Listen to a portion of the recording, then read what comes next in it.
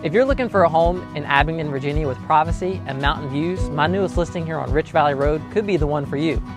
This property is on nearly three acres, features these beautiful mountain views, and the home is in move-in ready condition and features over 2,000 square feet of finished living space. Check it out.